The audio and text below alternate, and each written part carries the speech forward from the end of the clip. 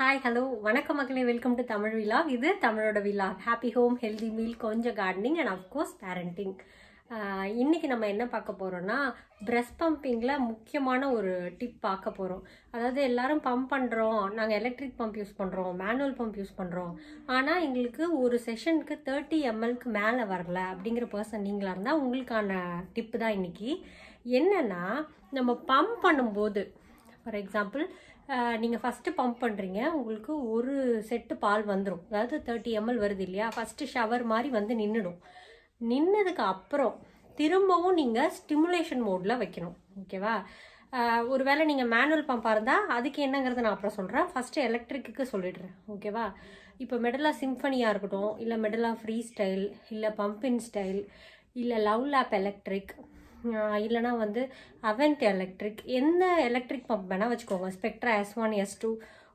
whatsoever ஓகேவா எல்லாத்துலேயுமே வந்து ஃபஸ்ட்டு லெட் டவுன் மோடுன்னு ஒன்று இருக்கும். இல்லைனா அதை வந்து ஸ்டிமுலேஷன் மோட் அப்படின்னு சில பம்பில் சொல்லுவாங்க. அடுத்தது வர்றது எக்ஸ்ப்ரெஷன் மோட் எக்ஸ்ப்ரெஷன் மோடில் தான் வந்து நம்ம வந்து பால் வந்து கொஞ்சம் சக் பண்ணி வெளில வரும். ஃபஸ்ட்டு எடுத்தோடனே பம்பை ஆன் பண்ண உடனே நமக்கு இருக்கிறதுக்கு பேர் லெட் டவுன் மோடு ஒரு ஒரு நிமிஷம் மெடலா சிம்பனியோ இல்லை மெடலாவில் வேறு எதோ வச்சுருந்தீங்கன்னா தானாகவே அது ஸ்டிமுலேஷன் மோடில் தான் வச்சுருக்கோம். ஸ்பெக்ட்ராலையும் ஸ்டிமுலேஷன் மோடு தான். அதை வந்து ஸ்பெக்ட்ராவில் லெட் டவுன் மோடுன்னு சொல்லுவாங்கன்னு நினைக்கிறேன்.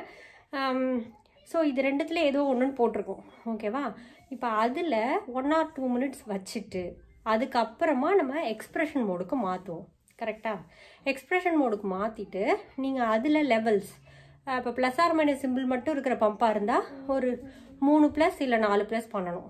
ஓகேவா அதே வந்து இல்லை ஸ்பெக்ட்ரா வச்சுருக்கீங்க. இல்லைனா வந்து வேறு எல் ஒன் எல் டூன்னு காட்டுற மாதிரி லெவல்ஸ் காட்டுற மாதிரி வச்சுருக்கீங்கன்னா அதில் என்ன பண்ணணும்னா ஸ்பெக்ட்ராவாக இருந்தால் எல் ஃபைவ் எல் சிக்ஸ் வைக்கணும். இல்லை எல் ஃபோர் வைக்கணும். அதே மாதிரி மற்ற மாதிரி லெவல்ஸ் இருக்கிறதுலையும் எல் ஃபோர் எல் ஒன் நான் சொல்கிறது இந்த ஃபோர் ப்ளஸ் ஓகேவா எல் ஃபோர் வச்சு பம்ப் பண்ணுறீங்கன்னா ஃபஸ்ட்டு உங்களுக்கு ஷவர் மாதிரி வந்து ஒரு தேர்ட்டி எம்எல்ஓ டுவெண்ட்டி எம்எல்ஓ முடிஞ்சிடும் முடிஞ்சதுக்கு அப்புறம் திம் திரும்பவும் நீங்கள் ஸ்டிமுலேஷன் மோட் அதாவது லெட் டவுன் மோட் ஃபஸ்ட் இருந்தது தெரியுமா? கொஞ்சமாக பம்ப் பண்ணுவேன். அந்த மோடுக்கு மாற்றி வைங்க. வச்சு ஒரு ரெண்டு நிமிஷம் வச்சுட்டு திரும்பவும் ரெண்டு நிமிஷம். இப்போ எல் சிக்ஸோ எல் ஃபைவோ உங்களுக்கு வலிக்காமல் இருக்கிற மாதிரி இருக்கிற மாதிரி வைங்க. மேக்ஸிமம்க்கு போகவே கூடாது. அதாவது ஹையில் வச்சு நம்ம பம்ப் பண்ணவே கூடாது.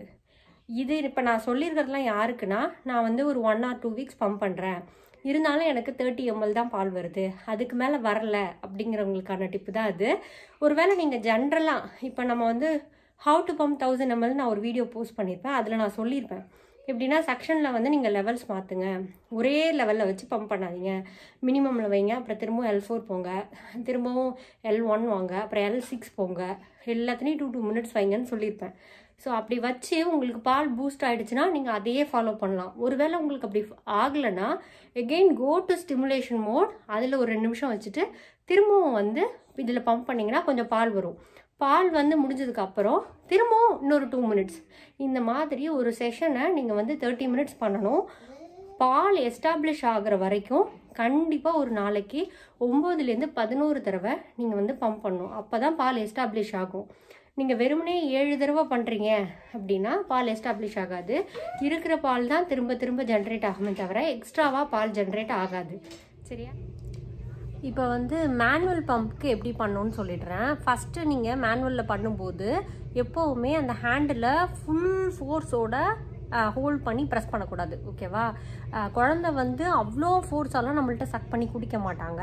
நீங்கள் உங்களோட ஃபுல் எனர்ஜி யூஸ் பண்ணி பம்பை போட்டு அடி அடி அடித்து பம்ப் பண்ணிங்கன்னா சோறு நிப்பிள் தான் வருமே தவிர நமக்கு பால் வந்து அதிகமாக வராது ஓகேவா அப்போ அதில் என்ன பண்ணணும்னா நீங்கள் அந்த ஹேண்டில் ப்ரெஸ் பண்ணுறீங்க இல்லையா? ப்ரெஸ் பண்ணும்போது ஃபஸ்ட்டு கம்மியான ப்ரெஷர் கொடுத்து ப்ரெஸ் பண்ணணும் one two three four five six seven eight பண்ணிவிட்டு அப்புறம் மூணு ப்ளோ நீங்கள் பெரிய ப்ளோ பண்ணும். ஓகேவா அப்புறம் திரும்பவும் one two three four five six seven eight nine ten eleven twelve பண்ணிவிட்டு திரும்பவும் ஒரு மூணு ப்ளோ பெரிய ப்ளோ ஓகேவா இப்படி தான் நீங்கள் பண்ணணும்.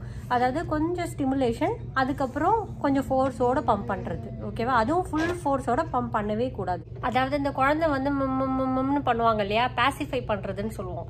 அந்த மாதிரி லைட்டாக தான் நீங்கள் ஹேண்டில் ப்ரெஸ் பண்ணணும். அதாவது ஒன் டூ த்ரீ ஃபோர் அந்த மாதிரி லைட்டாக ப்ரெஸ் பண்ணிவிட்டு அப்புறம் ஒரு நாலு ப்ளோ ஃபுல்லாக ப்ரெஸ் பண்ணலாம். இல்லை பால் வந்து உங்களுக்கு ஷவர் மாதிரி வந்துக்கிட்டே இருக்கு. நீங்கள் கொஞ்சம் பெருசாக ப்ரெஸ் பண்ணுறீங்க ஷவர் மாதிரி வருதுன்னா அது வந்து நின்னதுக்கப்புறம் திரும்பவும் குழந்தை பேசிஃபை பண்ணுற மாதிரி கம்மியாக ப்ரெஸ் பண்ணணும்.